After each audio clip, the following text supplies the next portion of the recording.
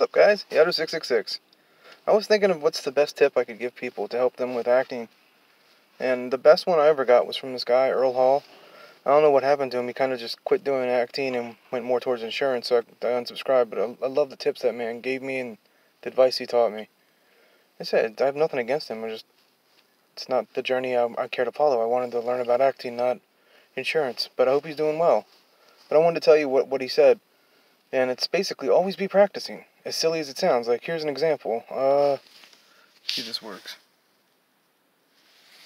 A truck says Breezewood on it. So you could practice on your own. Who's the audience? You know, like it's a bike. I, would be thinking like Breezewood.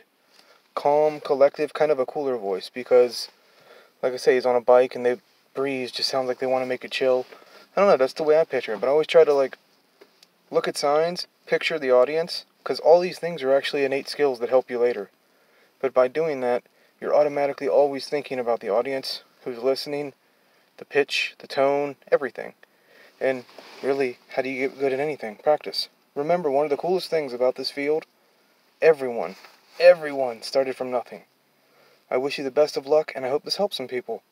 Let me know in the comments. I'm going to keep trying to make like little snippets of things instead of everything being about DoorDash, because I know most people don't really care for that on here, but I'm doing what I can, man.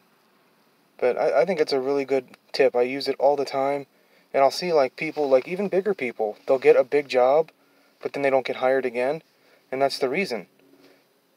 They kind of got hired for their fame, but then they didn't do a good job. Like, it, it's not being mean. It happens.